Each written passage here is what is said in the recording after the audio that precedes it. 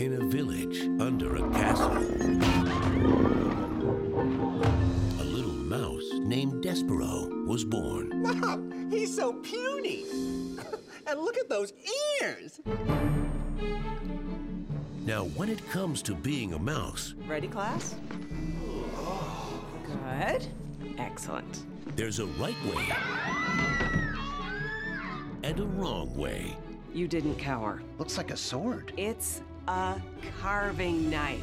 It's beautiful. But Despereaux can only do things Despereaux, don't do it. his way.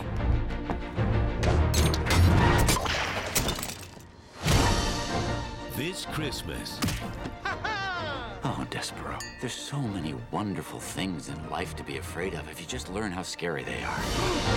Kate DiCamillo's Newbery Award-winning book is coming to the big screen. Oh. In a world where fear is the rule, Just for a second, just try being brave. Oh, this is bad.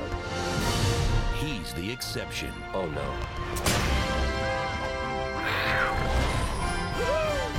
Are you a rat? No, A mouse? I am a gentleman. You can't talk to a human. They will throw you in the dungeon. You will get eaten by rats.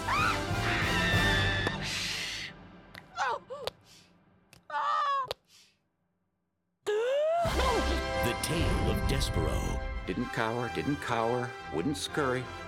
Oh, here's one. Drew pictures of cats on his notebook. No, cat. I can't imagine. I'm afraid so.